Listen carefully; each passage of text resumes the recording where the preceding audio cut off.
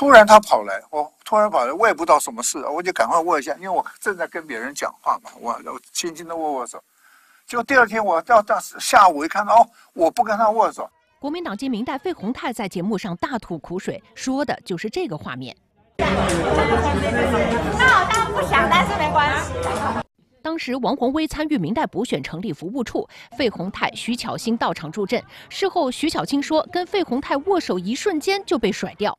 冬天嘛，冷了，所以我可能手上有静电，然后电到它，就是太会放电，电到它，所以它就收回来。外传两人隔空交火，就是为了二零二四明代选战。包括民进党的人人跟我一道参选立委，我也从来不讲他们的坏话。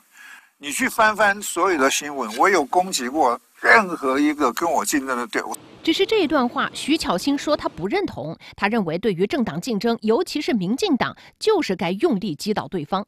乖乖待在立法院的记者会做传统的攻攻防，当然是一种选项。不过我的选择不一样，我会走出同温层。论文啊，还有高登。